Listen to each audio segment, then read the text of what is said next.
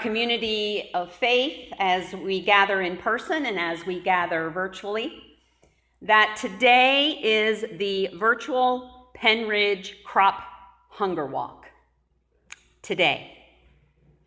In our narthex, you will find an area with a sign that has been designated as drop slots for your offering for the crop walk. And if you go on your computer and simply Google Pennridge Crop Hunger Walk, you will have a very easy guide to follow sharing an online donation. A special reminder that I became aware of this year was that for the Pennridge Crop Hunger Walk, 25% of whatever is collected goes to Pennridge Fish. We know again that the needs are great, and so I encourage your support that even though we cannot gather in person and actually walk, physically make the walk, that you still be mindful of the needs in our community and that you provide an offering to this wonderful community fundraiser. Also, again, I want you to remember and think chicken pot pie. If you go to St. Paul's United Church of Christ website, very easily there has been a little button on the right hand side that has been designated for our chicken pot pie sales. Very, very easy. You order online, you pay online, which makes it very, very easy the day that the orders will be picked up. And all that information will come out to you in the weeks ahead. That you will simply have to stop and get your delicious bag of quarts of chicken pot pie and peppered cabbage, whatever you have ordered. Be mindful of that any questions, any concerns, again, um, don't hesitate to leave a message on the church office recorder. Don't hesitate to email Stacy. She will find out the answer for you, whatever your question may be. Also, see, we are not a quiet, laid back church. We are very busy, folks. Operation Christmas Child will not be missed this year because of other challenges that may be for us with gathering in person and limitations that we may feel um, in figuring all that out. There are no limitations to the amount of mission projects and ministry projects that we can be involved in and lift up and support. On Friday evening, I distributed boxes from the front porch of the parsonage. Kevin helped me in that. There is a guesstimate, since I'm not good at always keeping accurate track of numbers behind the scenes, of about 15 boxes that were distributed.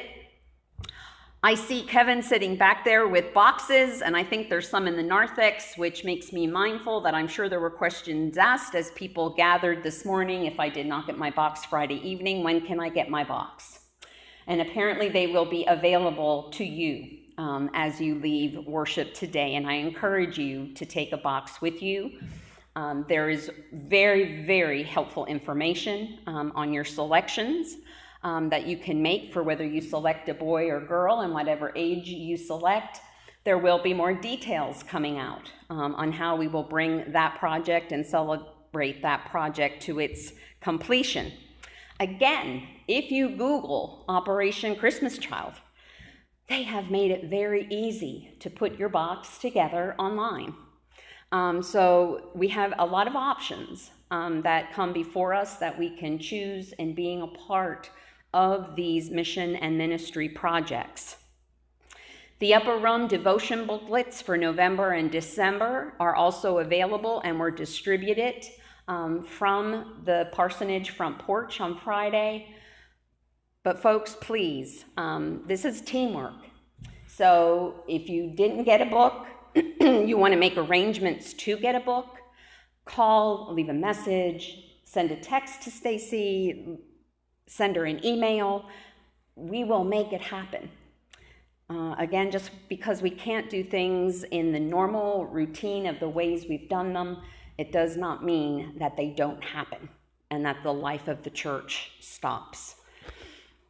Lots of things to pray about individuals, events, wonderful, wonderful opportunities to be the hands and the feet and the voice of our Savior. Please pray about the way that God is guiding you in this time to be His faithful servant and to be a part of these wonderful mission and ministry opportunities. Please share with me now, as the people of God gathered in this time and in this place, our call to worship. Do you remember who first invited you to worship?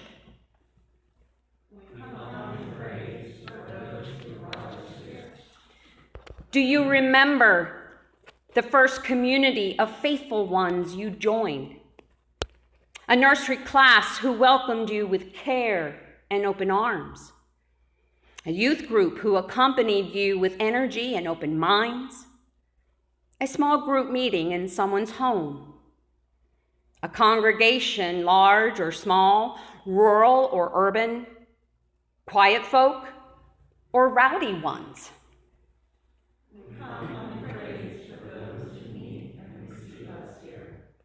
Do you remember the God you have come to worship?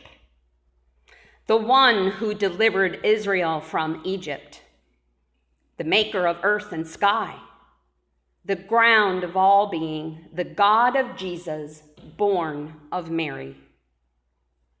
We come to worship God in remembrance that leads to hope. Let us pray. Great God, the beauty of creation reminds us of the beauty of your way. Your teachings bind us together as pilgrims on a common path towards abundant life for all. Your laws are sweeter than honey in a honeycomb.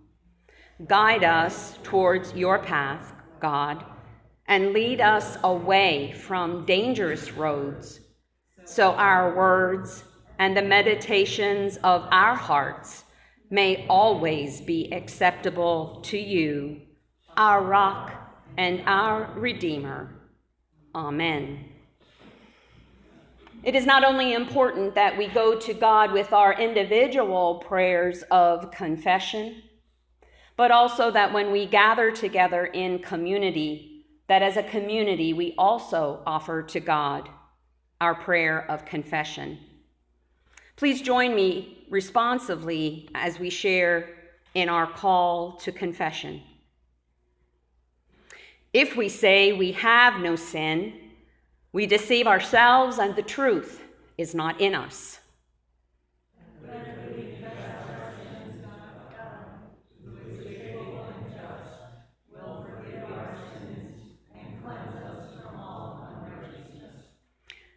Let us confess our sins before God and before one another. Let us pray. Forgive us, God, when we forget you, speaking and acting and organizing as though you are not here. For still we fashion our own deities to lead us on our way political ideas that claim unquestioned allegiance, material pursuits that set our devotion in commodities, religious self righteousness of the right or left that baptize our prejudices. Forgive us, O God, when we forget you, failing to see you in neighbor failing to care for you in creation, failing to recognize your spirit in our own being. Forgive us, O God.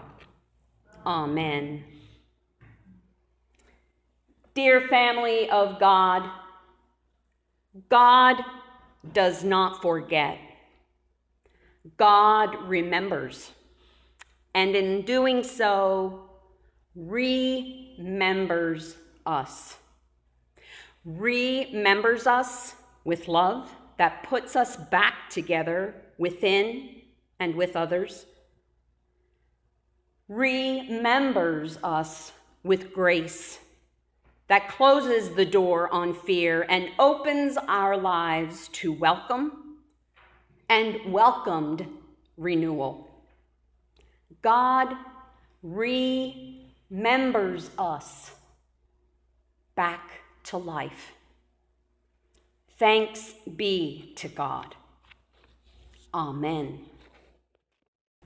So today we are going to talk about something that everybody likes going to parties. Raise your hand if you have ever been to a party before. What was the occasion for the party you went to? What was the reason for it, Simon? Party? A birthday party? You been to anything other than a birthday party, Faith? Not coming to mind right now. There's lots of reasons that people have parties. Birthday parties are a really big reason, but there can be Halloween parties. Maybe not this year with the coronavirus. There can be Christmas parties or New Year's Eve parties, or maybe even end of school year parties. Like I said, lots and lots of reasons why people have parties.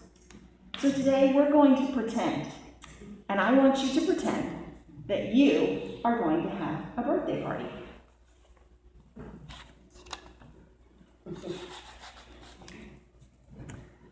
So, you've gone shopping, you've bought all the food, you've purchased the cake, you've bought some decorations, maybe party hats for the guests to wear, you've hung up all the decorations, you've planned games for the party guests to play, and most importantly, you've sent out invitations. And you hear back from the people that you invited, and they say, I'll be there. Looking forward to it. Can't wait. And then the day of the party comes. And you know what happens? Nobody comes to the party. How would that make you feel? Sad, maybe disappointed, maybe even a little bit angry. Well, today I want to tell you about a story that Jesus told once. He told a story about a king who was having a party for his son, and he invited lots and lots of people. And when the day of the party came, the king sent his servants out into the courtyard to gather all of the party guests. And pretty soon, those servants found out that nobody could come to the party. Every person had an excuse. Some people said, Oh, I'm too busy. And others said, I've got other plans that are more important. Well, later on, the king sent some more servants out to try to gather the party guests to come. And still, nobody would come back to the party with him. So finally, the king decided that those he had invited did not come because they didn't deserve to come. They missed out on the party. Now, the party that Jesus was talking about was actually a party thrown by God in heaven for all of eternity. It's a once in a lifetime party, and it lasts forever. And people have been talking about this party for more than 2,000 years.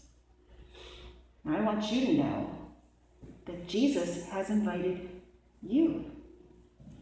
And his invitation is right here in the Bible. And his invitation is for you, and for me, and for your friends, and your family, and your neighbors, and for everybody who's worshiping here this morning in church, and for all of the people who are watching church from home. We are here to celebrate the good news that Jesus has brought to us. And that good news is that Jesus died in our place, taking our sins upon himself on the cross, so that everyone who accepts that invitation can have eternal life in heaven with God someday. Now, I hope that you guys and everybody who is listening will accept that invitation from Jesus. You can read about it in the Bible, you can pray to God about it, and find out what it is that you have to look forward to in eternity. Jesus says we don't want to miss out on this invitation or this party in heaven. Will you pray with me, please?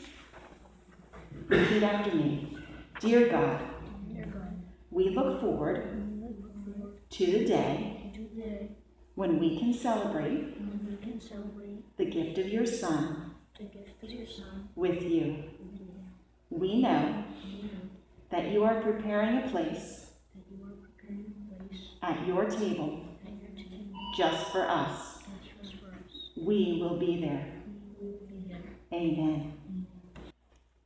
Thank you, Nancy. It is always a blessing to have you come on our altar steps and share those messages for children of all ages. God bless you in your ministry here with us at St. Paul's. As we prepare our hearts and our ears and to open ourselves to God to hear this full parable of the wedding banquet, let us first go to our God in prayer. Let us pray. Guide us, O God, by your word and Holy Spirit, that in your light we may see light, in your truth find freedom, and in your will discover peace. Through Christ our Lord. Amen. Listen for the words of God in this reading from Matthew's Gospel, the 22nd chapter, beginning with verse 1. Once again, Jesus used stories to teach the people. The kingdom of heaven is like what happened when a king gave a wedding banquet for his son. The king sent some servants to tell the invited guests to come to the banquet, but the guests refused. He sent other servants to say to the guests, The banquet is ready. My cattle and prize calves have all been prepared. Everything is ready. Come to the banquet. But the guests did not pay any attention. Some of them left for their farms, and some went to their places of business. Others grabbed the servants, then beat them up and killed them. This made the king so furious that he sent an army to kill those murderers and burn down their city. Then he said to the servants, It is time for the wedding banquet and the invited guests don't deserve to come. Go out to the street corners and tell everyone you meet to come to the banquet. They went out on the streets and brought in everyone they could find, good and bad alike. And the banquet room was filled with guests. When the king went in to meet the guests, he found that one of them wasn't wearing the right kind of clothes for the wedding. The king asked, Friend, why didn't you wear proper clothes for the wedding? But the guest had no excuse. So the king gave orders for that person to be tied hand and foot and to be thrown outside into the dark. That's where people will cry and grit their teeth in pain. Many are invited, but only a few are chosen. Holy wisdom, holy word. Thanks be to God.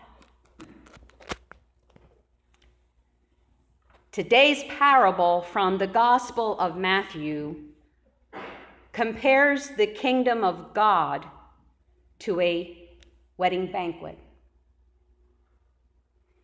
At first glance, this is a jarring story. Certainly not warm and fuzzy, disturbing and unpleasant. We hear that after many of the invited guests refused to attend the wedding banquet, the king opens up his house to everyone the servants can find. He throws open the banquet hall, and everyone, good and bad alike, are invited to come and share in the wedding banquet.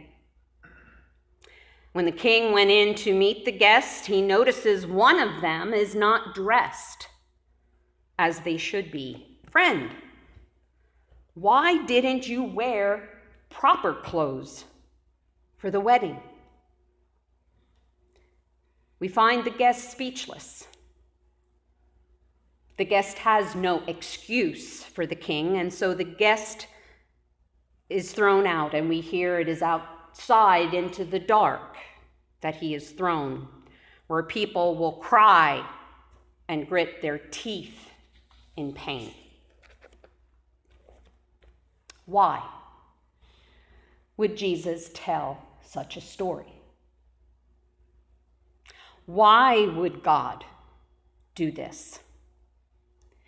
We are familiar with hearing in our scripture passages of Jesus caring for the poor and the burdened. They are favored, they are provided with better options. God is the one who teaches that fineries, riches, matter less than spirit.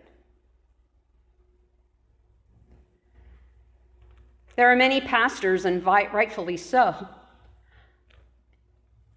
To humble myself, I will tell you, will not preach on this parable today.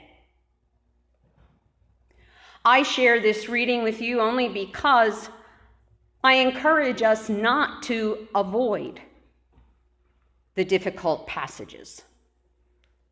Maybe this is a good passage for us to ask questions, to wrestle with questions.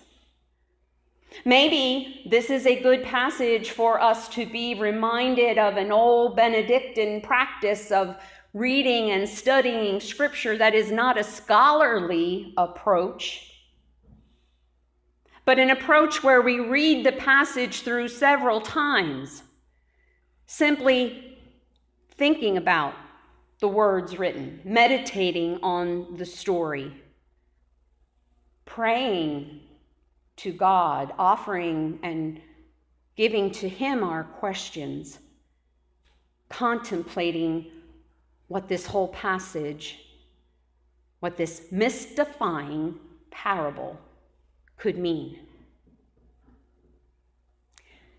But this is a parable and a story that we have been given, and parables and stories that Jesus shared with us spoke in symbols and with levels of irony. There are too many layers in this challenging passage this morning for us to unpack. But we are going to wrestle with this one question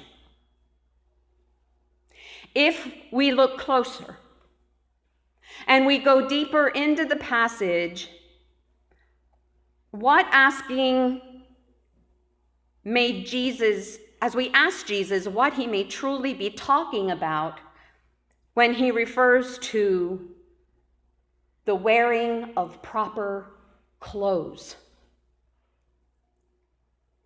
As 21st century Christians, we cannot deny in our country that we struggle within a culture of materialism.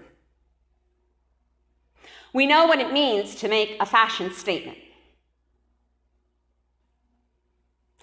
to clothe ourselves with material riches. On the larger scale, that might refer to bigger and better cars, bigger and better vehicles, bigger and better homes. We hear the term to dress for success. We know about designer clothes. When my mother in law recently passed away, I did have the opportunity to speak a eulogy at her service. And the very first memory that I shared was when I met her for the first time. On a Friday night, when in January of 1979, the woman that her son Kevin was dating came to meet her in blue jeans and a typical winter sweater. And there she sat in her Queen Anne chair with her cashmere sweater and her string of beautiful pearls. What an impression that made on me. And she truly was our matriarch, as I've shared with you. Then, in her recent passing, because we shared in the same size of clothes, I had the opportunity to go through what I thought was going to be one closet in her front bedroom. It turned out to be a back closet, both sides. It turned out to be several drawers as I went through layers and layers and layers of clothes. This is not a criticism to her or to any of us. One of my first charge cards was from Fashion Bug, which was the fashion statement to make in the 1970s to buy clothes from that store. For my mother in law, it was Alfred Dunner. But I think this passage really encourages us and reminds us to look at these holy scriptures not in a literal sense. There is no literal interpretation that I come to provide on that moment when Jesus met that guest in the banquet hall about the proper clothes that Jesus might be referring to in the par- parable, not in a literal sense of clothes. But I can wonder, and we can wonder together, about Paul's letter that he wrote to the Colossians, where I think he gives us a glimpse of the kind of clothing that is worn by the citizens of God's realm. Since God chose you to be the holy people he loves, you must clothe yourselves with tender hearted mercy kindness, humility, gentleness, and patience. Make allowance for each other's faults and forgive anyone who offends you. Remember, the Lord forgave you, so you must forgive others. Above all, clothe yourselves with love, which binds us all together in perfect harmony. But Paul doesn't stop there. Because as a prisoner, when he writes to the struggling church in Ephesus, he says, finally, let the mighty strength of the Lord make you strong. Put on all the armor that God gives so you can defend yourselves against the devil's tricks. We are not fighting against humans. We are fighting against forces and authorities and against rulers of darkness and powers in the spiritual world. So put on all the armor that God gives. Then, when that evil day comes, you will be able to defend yourself. And when the battle is over, you will be standing firm. Be ready. Let the truth be like a belt around your waist, and let God's justice protect you like armor. Your desire to tell the good news about peace should be like shoes on your feet. Let your faith be like a shield, and you will be able to stop all the flaming arrows of the evil one. Let God's saving power be like a helmet, and for a sword, use God's message that comes from the Spirit. Never stop praying, especially for others. Always pray by the power of the Spirit.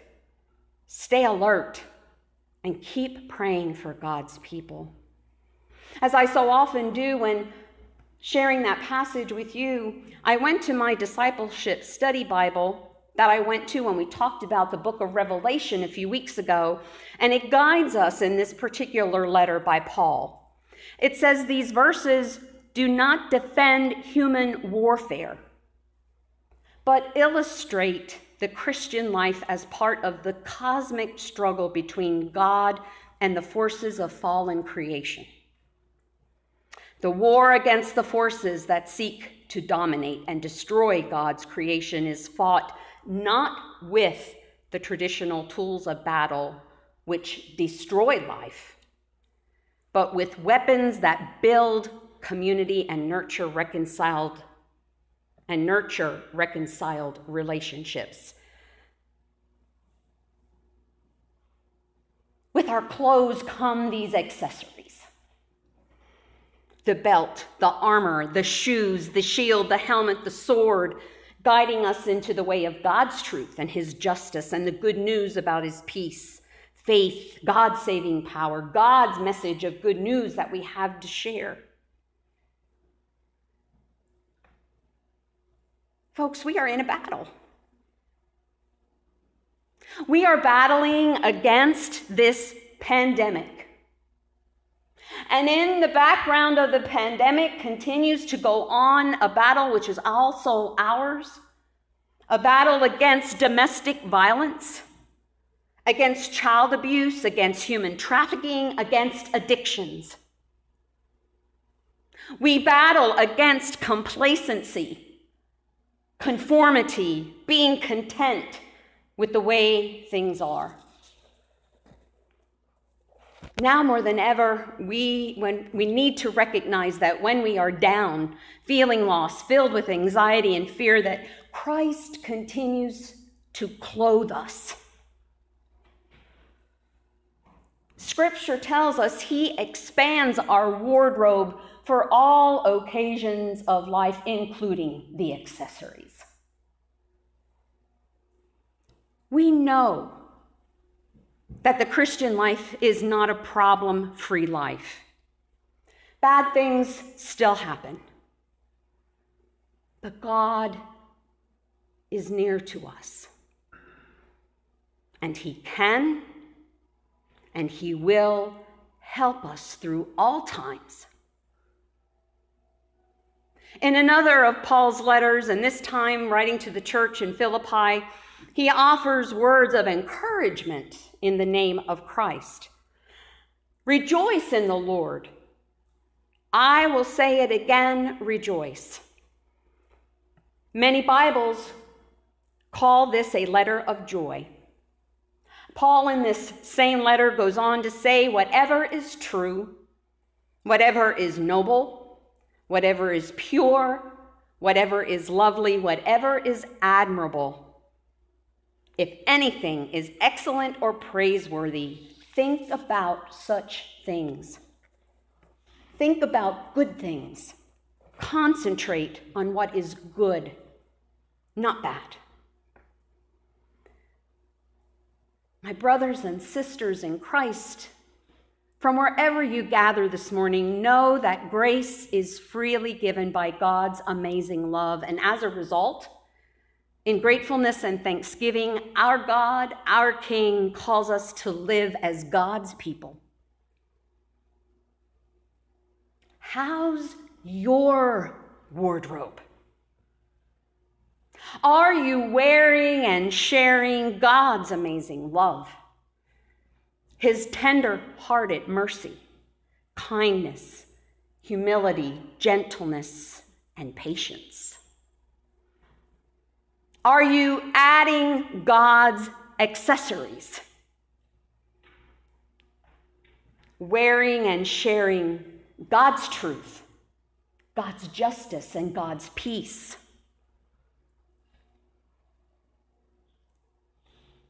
May we be clothed with Christ.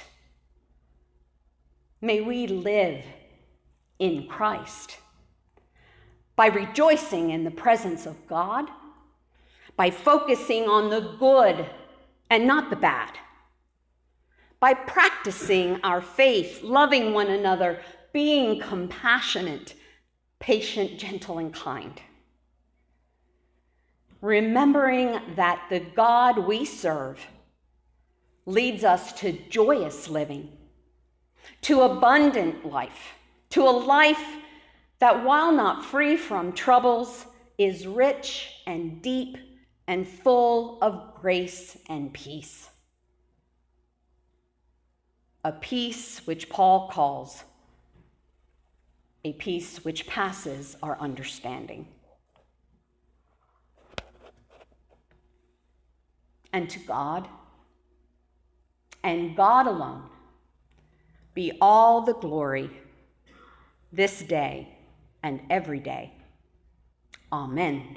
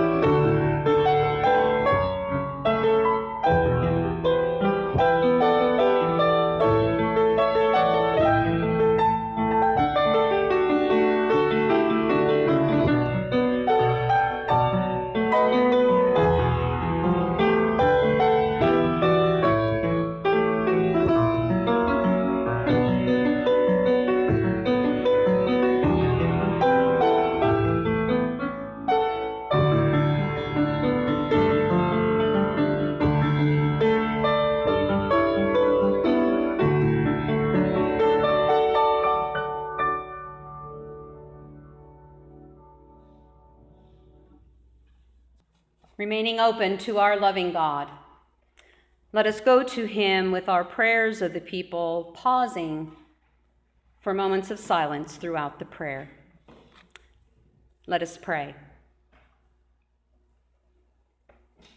Gracious God, let us remember in prayer those who suffer the brokenness of grief, of friends and loved ones who have died in this week or in times more distant, yet still fresh with pain and longing.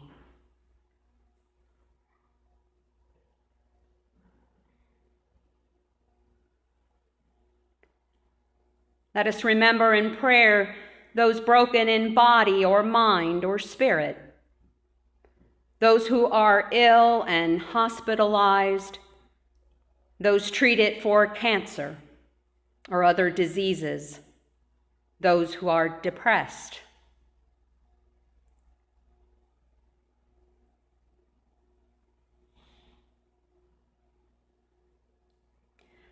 Let us remember in prayer those whose brokenness is in relationship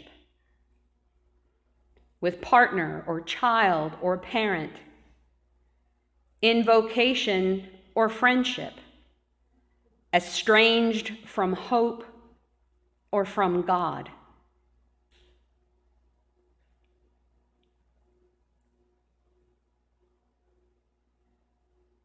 Let us remember in prayer the brokenness in creation, rivers polluted and hillsides stripped, overabundance hoarded and need ignored for denial of natural crises.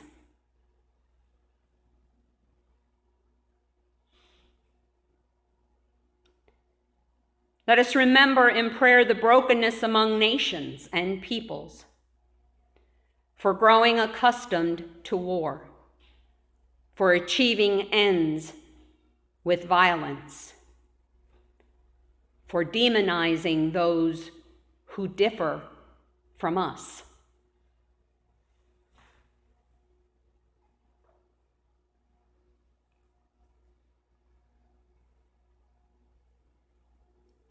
And let us remember in prayer the one to whom we pray, whose way is love, whose wisdom is justice, whose heart is compassion, whose promise and call is peace. Remember us, O God, and make us whole. Amen.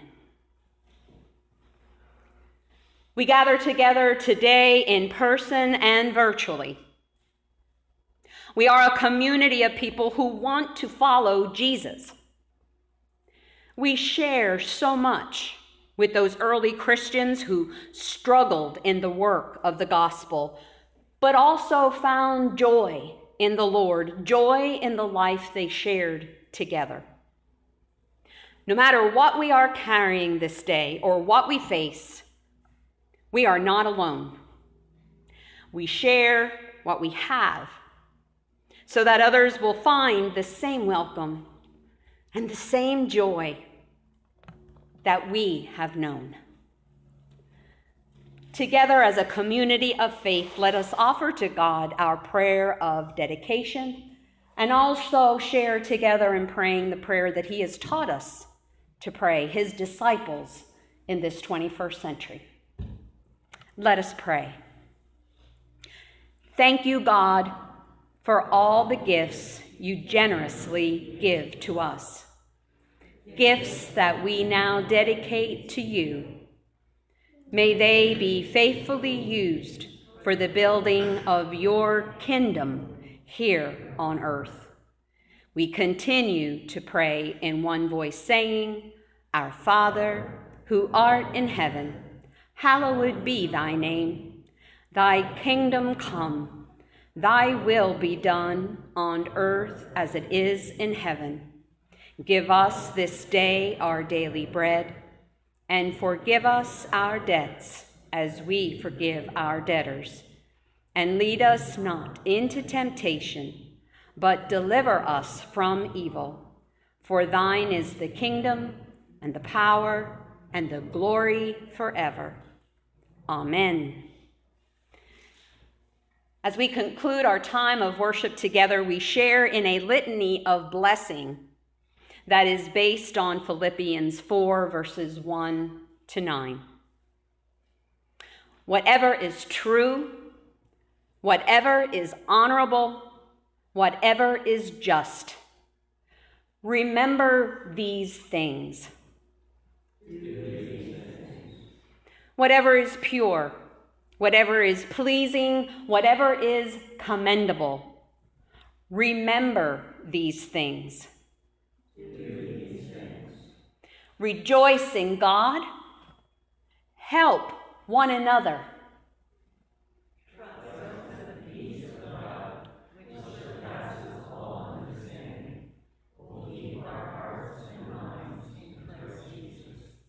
We depart in the peace of Christ. We depart in the name of the Father, and of the Son, and of the Holy Spirit. Amen.